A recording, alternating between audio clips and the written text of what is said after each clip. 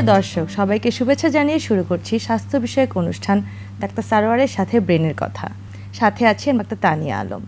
দর্শক, আজ আমরা কথা বলব নিউরোলজিক ইমার্জেন্সিস এই বিষয় নিয়ে। এই বিষয়ে কথা বলার জন্য আমাদের সাথে আজ উপস্থিত আছেন doctor Sarwar Jahan Bhuiyan, senior consultant, paediatric neurology, Apollo hospitals, Dhaka. Sir, কেমন আছেন? আমি ভালো আছি তুমি ভালো আছো? জি স্যার স্যার আপনাকে স্বাগত আমাদের অনুষ্ঠানে। আমিও তোমার মাধ্যমে দর্শকদেরকে অনুষ্ঠানে স্বাগত জানাই। আমরা আজ কথা বলব নিউরোলজিক ইমার্জেন্সি এই বিষয়টা নিয়ে। আমরা স্যার ইমার্জেন্সি বিষয়টা জানি ইমার্জেন্সি হলে হসপিটালে কী কী হয়।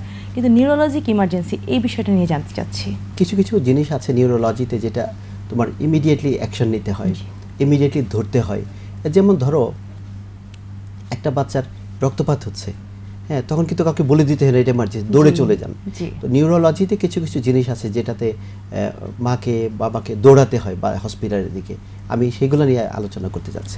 অনেক সময় খিচুনি হয়। খিচুনি হওয়ার পর অনেক খিচুনিটা অনেকক্ষণ ধরে থাকে। এক্ষেত্রে আপনার ম্যানেজমেন্টটা কীভাবে করেন? বেশিরভাগ খিচুনি কিন্তু মানে ninety nine point nine nine percent খিচুনি কিন্তু এক থেকে দুই মিনিটের মধ্যে ভালো হয়ে যায়। জি।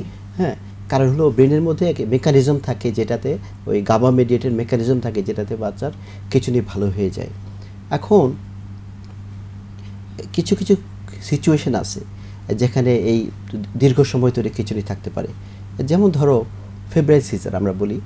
ফেব্রুয়ারি সিজার কথা মানে হলো ছয় মাস বয়স থেকে ছয় বছর বয়সী বাচ্চাদের যখনই জ্বর আসে তখনই খিচুনির ভাব আসে।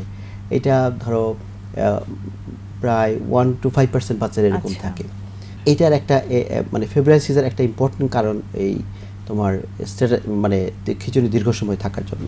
এটা কি ক্ষতিকর কিনা স্যার?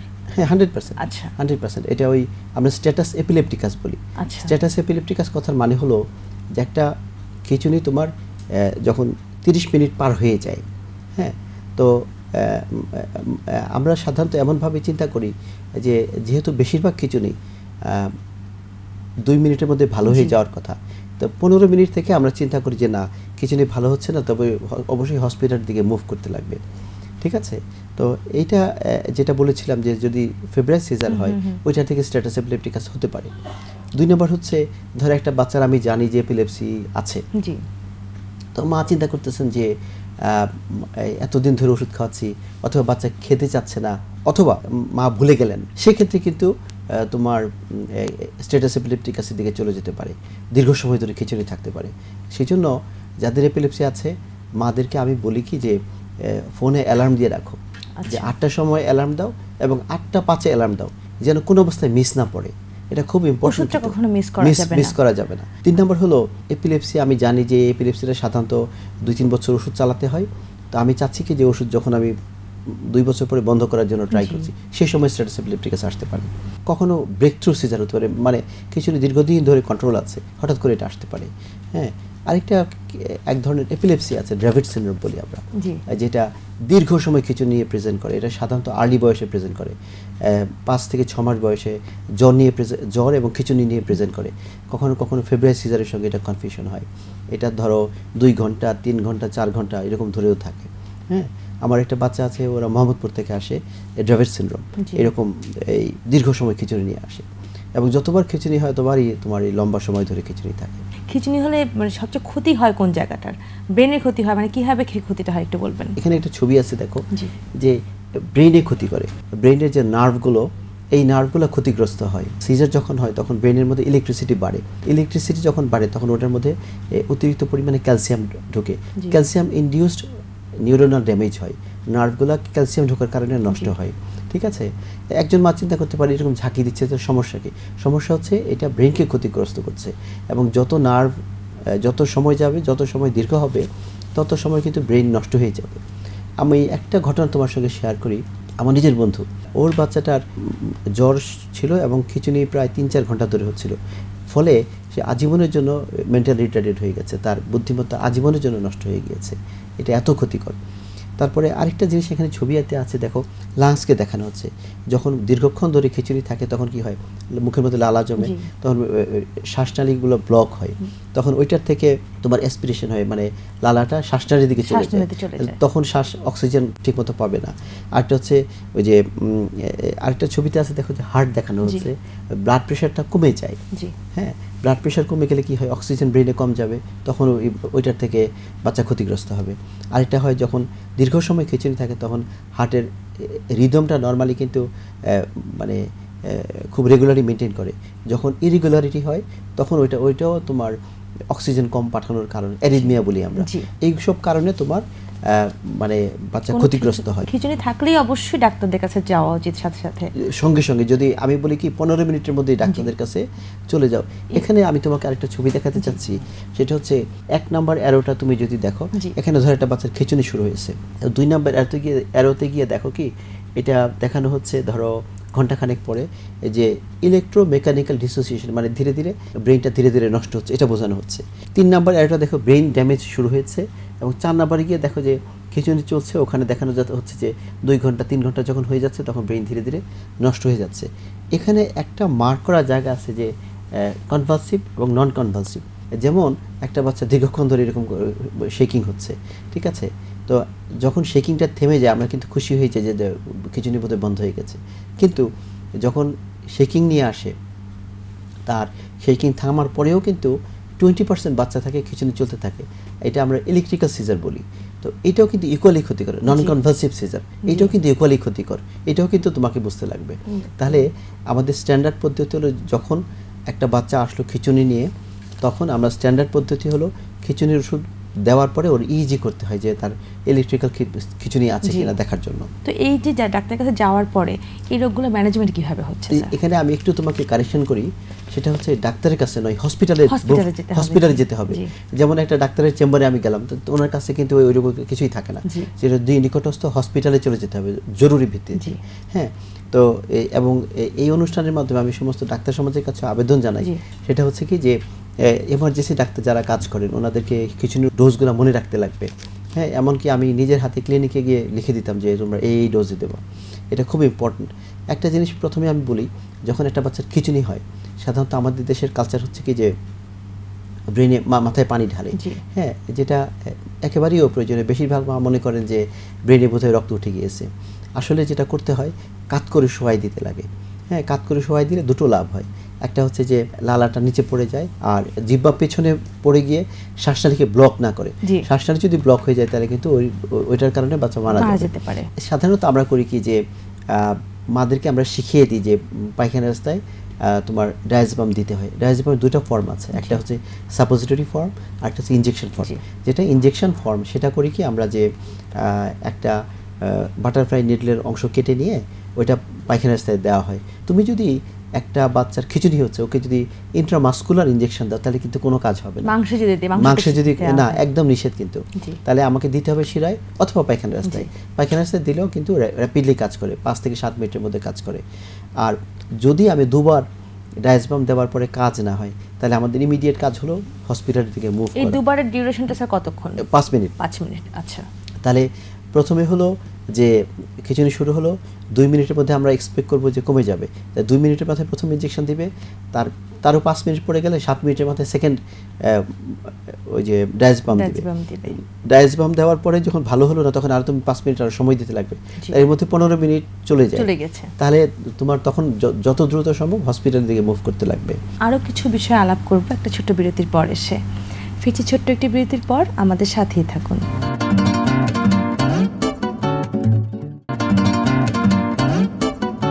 বিরতির পর স্বাগত জানাচ্ছি। আজ আমরা কথা বলছি নিউরোলজিক্যাল ইমার্জেন্সিস এই বিষয় নিয়ে। আমাদের সাথে আছেন ডাক্তার সারোয়ার জাহান ভুইয়া। স্যার বিরতিতে যাবার আগে আমরা জেনেছি হচ্ছে মাথায় আঘাত পেলে কি করতে হয়। তো এই ক্ষেত্রে তো আমরা মাথার ভিতরে যে রক্তপাত হচ্ছে কোনো পরীক্ষা নিরীক্ষা ছাড়া বাইরে থেকে দেখলে বুঝতে পারি না। তো এই যে রক্তপাতটা তো আঘাত পেলে হচ্ছে অন্য কোনো কারণে হয় কিনা এটা ব্রেন হেমোরেজ বলি আমরা। এটা কিন্তু খুবই একটা ইম্পর্ট্যান্ট ডিজিজ যেটা আমাদের ইমিডিয়েটলি ধরতে হয়। যদি ইমিডিয়েটলি না ধরতে পারি সর্বনাশ। তো আমি দুই তিনটা রোগের নাম বলব। এই রোগগুলো একটু কঠিন কিন্তু আমি প্রতিটার সঙ্গে ছবি দেখাবো। যেমন ব্রেনের ব্রেনের ভিতর তুমি জানো যে রক্তনালী থাকে। রক্তনালীর মধ্যে দুই তিন রকম দুই রকম রক্তনালী থাকে। একটা হলো আর্টারি আর একটা ভেইন। আর্টারিটা দিয়ে রক্তটা টিস্যুর মধ্যে চলে যায়। আর্টারিতে যদি কোনো চেঞ্জ হয় আর্টারি কোনো কারণে ছিঁড়ে যায় হ্যাঁ? সেই কারণে ব্রেন হেমোরেজ হয়। তার মধ্যে একটা অংশ হচ্ছে আমরা বলি কি অ্যানিউরিজম তোমাকে একটা ছবি দেখাচ্ছে এখানে। যেমন এটা হচ্ছে একটা রক্তনালীর ছবি দেখানো হচ্ছে। যে রক্তনালীর যদি একটা ওয়াল যদি এমন হয় যে একটু দুর্বল হয়ে গেল তাহলে এটা বেলুনের মতো ফুলে যাবে। দেখো এই যে যখন বেলুনের মতো ফুলে যাবে তখন পাশের যে ওয়ালটা এটা কিন্তু অনেক বেশি দুর্বল হবে। এটাকে আমরা অ্যানিউরিজম বলি। আচ্ছা। আচ্ছা দুই নাম্বার হচ্ছে এই যে যেমন এটা অ্যানিউরিজমের একটা ছবি মানে এই যে মনে হচ্ছে একটা বেলুনের মতো ফুলে। গেছে অথবা এটা সিডের মতো হয়েছে হ্যাঁ। আরেকটা হচ্ছে আমাদের রক্তনালীগুলো এমনভাবে সাজানো আছে যে আর্টারি থেকে ধীরে ধীরে ছোট ছোট ছোট হতে হতে ক্যাপিলারি দিকে যায়। ক্যাপিলারি থেকে আবার ভেনের তৈরি হয়। কখনো যদি এমন হয় যে আর্টারি থেকে ভেনের মধ্যে সরাসরি চলে গেছে এগুলো আমরা আর্ট্রোভেনাস ম্যালফরমেশন বলি। যেখানে দেখো এখানে এলোমেলো ভাবে সাজানো আছে যে রক্তনালীগুলো। এটা হয় হচ্ছে এরকম জিনিসটা আমি বলি যে যখন মায়ের পেটে বাচ্চার জন্ম হয় হ্যাঁ তখন কিন্তু এলো- মানে রক্তনালীগুলো এরকম এলোমেলো থাকে। ওই এলোমেলোগুলোকে রক্তনালীগুলো পরে আবার রিগ্রেস করে মানে পরে আবার নষ্ট হয়ে যায়। যদি কারও রক্ত রক্তনালী নষ্ট না হয় তখন এই আর্ট্রোভেনাস ম্যালফরমেশন হয় হ্যাঁ? এটা কিন্তু আমরা ওই CT CT scan angio CT angio তারপর এগুলো করে ধরতে পারি হ্যাঁ? আর আরেকটা দেখ- দেখাচ্ছি যেমন এটা এমআরআইতে দেখা যাচ্ছে এখানে ওই জি। পারফরমেশন আছে। একটা রোগ আছে ময়াময়া ডিজিজ ময়াময়া ডিজিজ হচ্ছে এই যে আর্টারিগুলো কোনো নির্দিষ্ট কারণ ছাড়াই ব্লক হয়ে যাচ্ছে। এ তো নর্মালি একটা রক্তনালী দেখো যে, এই যে রক্তনালী কেটে দেখো একটা রক্তনালী দেখানো হয়েছে যে, উপরের রক্তনালীটা মানে ভিতরে রক্তের যাওয়ার যে জায়গাটা লুমেন বলি আমরা, এই লুমেনটা বেশ বড়। আর নিচের রক্তনালীটা দেখো যে শুরু হয়ে গেছে। তাহলে যখন যখন এরকম শুরু হয়ে যায় তখন এগুলো ছিঁড়ে যাওয়ার টেন্ডেন্সি থাকে। এটা ময়াময় ডিজিজ বলি। এটা কিন্তু একটা রোগ যেটাতে ব্রেনের অপারেশন লাগে। মাইগ্রেন একটা মানে আমরা নামটা জানি সবাই কম বেশি পরিচিত। তার প্রথমে একটু বলবেন যে মাইগ্রেন আসলে কি? বেশিরভাগ মা বাবা মনে করেন যে মাইগ্রেন বড়দের রোগ বাচ্চাদের হয় না হ্যাঁ? এটা টোটালি রং হ্যাঁ? তো মাইগ্রেনে যেটা হয় যে মাথা ব্যথা হয় যেমন মাসে তিরিশ দিন তিরিশ দিন কিন্তু মাথা ব্যথা হবে না। আমরা বলি কি এপিসোডিক হেডেক মাঝে মাঝে হলো এই আজকে হলো আবার সাত দিন পরে হলো আবার দুদিন পরে হলো মধ্যে পনেরো দিন ভালো থাকলাম তারপরে আবার হলো। তাহলে মাঝে মাঝে যে যে হেডেক হয় এই সেই হেডেকগুলো একটা ইম্পর্টেন্ট কারণ হলো মাইগ্রেন আরেকটা হয় যে মাইগ্রেন কিছু পিকচার আছে যেমন মনে করো অনেক বাচ্চাদের যেটা যেসব বাচ্চারা ভার্বাল বাচ্চা মাথার এক পাশে ব্যথা হয় তারপর এর সঙ্গে সাধারণত বমি থাকে মাথা ব্যথা হওয়ার আগে কখনো কখনো ওই যে চোখের এক পাশ মনে হচ্ছে কি কোনো ঝাপসা দেখা যায় অথবা মানে কোনো ওয়েভ মুভ করে অথবা আমি দু একটা বাচ্চা দেখেছি বলছে যে মাকে দুইটা দেখাচ্ছে হ্যাঁ আচ্ছা। তো এর এই- এরকম কিছু পিকচার থাকে আরেকটা হয় হলো অনেক বাচ্চার হাত পায়ে শিরশির করে। আবার অনেক সময় দেখা যায় যে অনেক সময় কেউ লাইট সহ্য করতে পারে না কেউ সাউন্ড সহ্য করতে পারে না। এক্স্যাক্টলি আমরা ফটোফোবিয়া এবং ফোনোফোবিয়া। বলি। এইগুলোও কিন্তু তোমার মাইগ্রেনের পিকচার তো এই সবগুলো পিকচার আমাদের জানা জরুরি এই জন্য যে মাইগ্রেনের কোনো টেস্ট দিয়ে ধরা পড়ে না। তাহলে ডাক্তারের লক্ষণ দেখেই রোগীর লক্ষণ দেখে ডাক্তারকে নির্ধারণ করতে হবে যে এটা সম্ভবত মাইগ্রেন হ্যাঁ তো এই মাইগ্রেনের একটা খারাপ দিক হলো যে কখনো কখনো মাইগ্রেন স্ট্যাটাসের দিকে যেতে পারে। আমরা স্ট্যাটাস মাইগ্রেনাস বলি। আচ্ছা। নর্মালি মাইগ্রেন হচ্ছে তোমার মনে করো মাথা ব্যথাগুলো মানে ধরো এক ঘণ্টা থেকে বাহাত্তর ঘণ্টা পর্যন্ত থাকতে পারে। এবং এটা সাধারণত কোনো একটা ভালো পেইন কিলার খেলে এবং সঙ্গে ডমপেটন জাতীয় ওষুধ খেলে পরে ইমপ্রুভ করে যায়।